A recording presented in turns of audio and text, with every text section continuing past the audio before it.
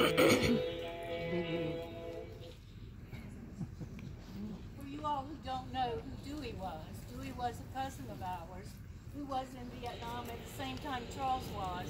He was unfortunate because he didn't come home. so we thought it in his honor we would have this. And at this time, if there's anyone who would like to say anything about Charles, we welcome you to do that. Want to pray for Charles, you do it in a silent, silent prayer, please. So did anyone want to speak about Charles? Ashley, did you want to? Ashley is a minister, so if Ashley wanted to say something, we're very happy for you too, but you don't have to.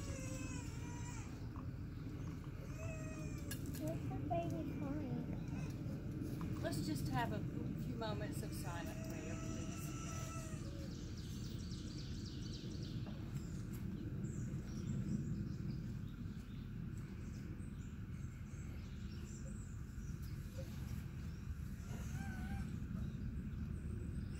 If no one wishes to say anything,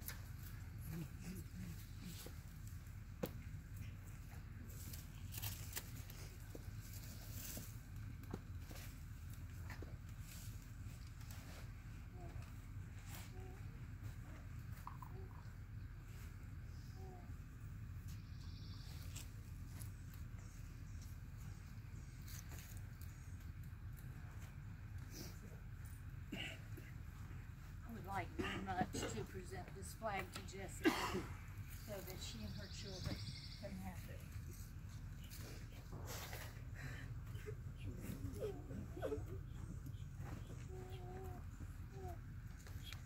Thank you all for coming. I hope we'll see each other again very, very soon under much more pleasant circumstances. Charles loved you all. I love you all. And let's try to love each other from here on. Amen.